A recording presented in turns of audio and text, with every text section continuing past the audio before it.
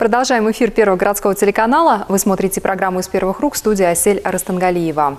Сегодня у нас в студии старший инспектор по особым поручениям группы ювенальной полиции Управления местной полицейской службы Департамента полиции Актюбинской области Нуржан Мукумов. Здравствуйте, Нуржан. Здравствуйте. Нуржан, поговорим сегодня о, о ОПМ «Дети в ночном городе», который стартовал с какого числа, до какого числа продлится, и что, какая работа ведется вами в рамках этого ОПМ.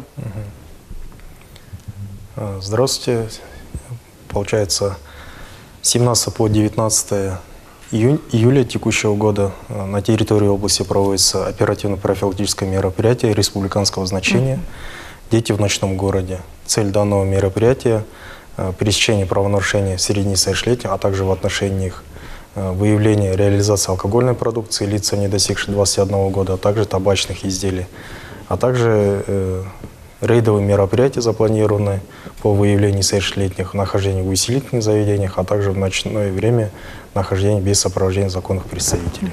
На сегодняшний день какая картина?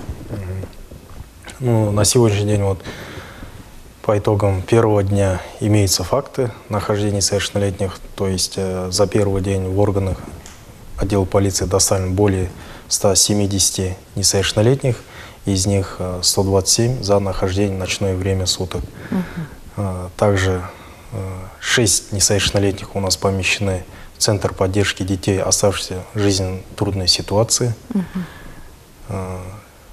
В органы внутренних дел доставлено 127 несовершеннолетних за позднее хождение, то есть без сопровождения законных представителей.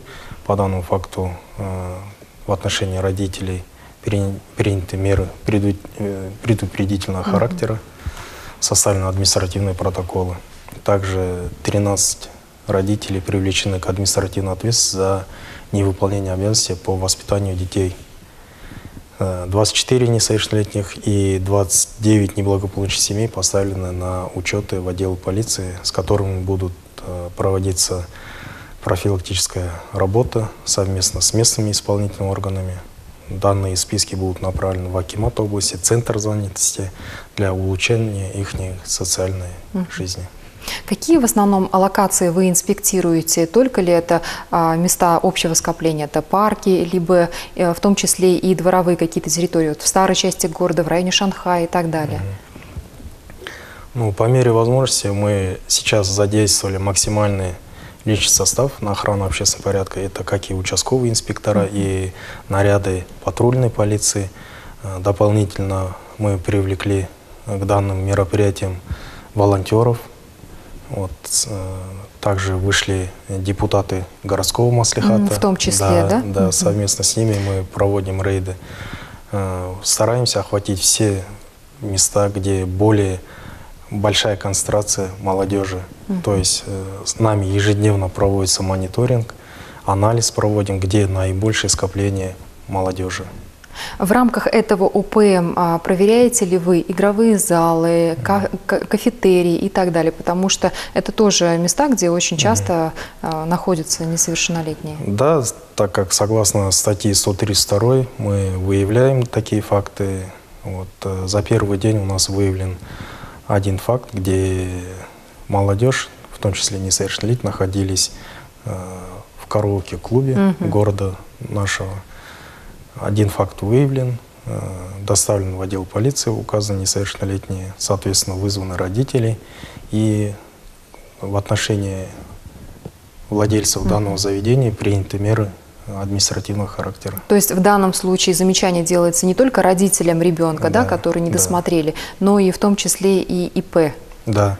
В отношении, инди, в отношении администрации заведения угу. тоже предусмотрена своя административная ответственность. Это по статье 132 Кодекса об административных правонарушениях. Угу. Ну, я понимаю, что вы делаете свою работу, но угу. а, депутаты маслихатов, также волонтеры, в том числе и представители общественных фондов и в целом общественники, угу. мы их называем волонтерами, они также работу с вами проводят. А какую работу они проводят? То есть, э, находясь рядом с вами, что они делают замечания или просто контролируют и снимают на видео, выставляют, чтобы для того, чтобы в будущем предупредить, ну, в качестве профилактической ну, работы? У них, у них тоже свои мероприятий угу. есть, свой план есть, угу. который составлен, где они совместно с нами должны выходить на рейды. Соответственно, они выходят, да, где-то они свою позицию угу. выражают, но в основном мы их э, в целях э, как бы дополнительной преданной силы используем. Угу. Еще один такой момент, вот э, сейчас каникулярное ведь время, угу. а большинство, да, кто-то находится у бабушек, да, в, в поселке, угу. кто-то в лагере, ну, есть дети, которые уехали за рубеж, да, вместе с родителями, но остались те, которые находятся на территории города, и э, сейчас каникулярное вечернее время, прохладно сейчас стало, ну, понятное дело, что иногда заиграются угу. и допоздна дети. То есть не делаете ли вы такие вот родителям, угу. я имею в виду? Данная работа в течение года у нас на постоянной основе проводится.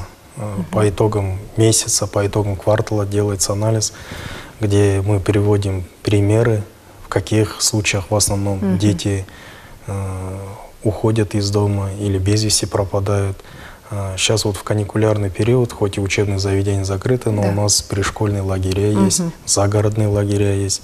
Вы также проводите да. на базе а, загородных лагерей свои мероприятия, да. да? Это у нас совместно с управлением образования разработан совместный план мероприятий угу. по проведению профилактических работ именно в лагерях. Это у нас совместно с Департаментом чрезвычайных ситуаций, угу. Управлением образования и совместно, соответственно, с Департаментом полиции проводим разъяснительную работу э, с участ... угу. получается, с участниками лагерей. Угу. Сейчас, когда начнется уже учебный год, вы опять вернетесь к работе угу. а, с администрацией школы, с ребятами, да. я так понимаю, с учениками, да, школьниками? опять же будут совместные планы составлены, угу. это уже на следующий год у нас получается, Новый с 23 угу. по 24 учебный год будут составлены совместные мероприятия с каждым учебным заведением. Угу. То есть что будем в течение года делать. Уже намеченные есть планы, которые будут в дальнейшем реализовываться. Еще один такой вот момент. А, проводите ли вы какие-то рейдовые мероприятия, в том числе с сотрудниками ДЧС? Я понимаю, mm что сейчас погода такова, что а, горожане не отправляются уже к водоемам, mm да, но та жара, которая была, и та статистика, которая а, показывала нам, что очень большое количество а, утонувших, в том числе и детей, конечно, она вызвала бурю негодования, естественно, общественный резонанс. Mm Вот в данном случае какую вы работу проводите? Данная работа у нас началась с начала потепления, угу. так сказать, не с начала купального сезона, а с момента потепления так. погоды. К сожалению, у нас имеются факты гибели на воде. Это с начала года у нас 6 фактов зарегистрировано, где именно э, утонули у нас несовершеннолетние.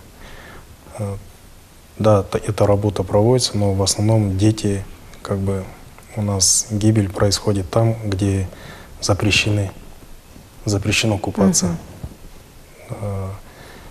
Для этого у нас совместно с Департаментом чрезвычайной ситуации вот, в период купального сезона проводятся рейдовые мероприятия. Ну, совместно это получается сотрудник департамента и угу. сотрудник департамента чрезвычайной ситуации. Вдоль рек, озер угу. проводится работа.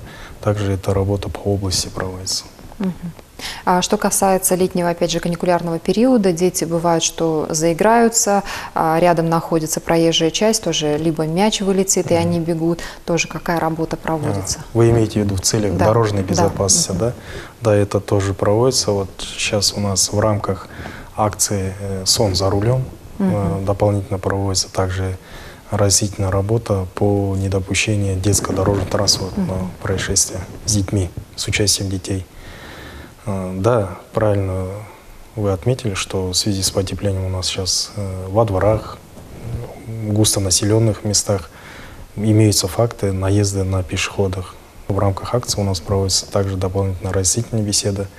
Сейчас э, максимально задействуем личный состав по недопущению дорожно-транспортных происшествий с участием детей. Спасибо огромное вам за разъяснение. Напомню, сегодня в студии был Нуржан Мукумов, старший инспектор по особым поручениям группы ювенальной полиции Управления местной полицейской службы Департамента полиции Актюбинской области. Напомню, что с 17 по 19 июля проходит республиканская акция «Дети в ночном городе». Поэтому, уважаемые а, родители, пожалуйста, напоминаем, что до 23.00 ребенок уже должен находиться дома. На этом наша программа завершена. До скорых встреч.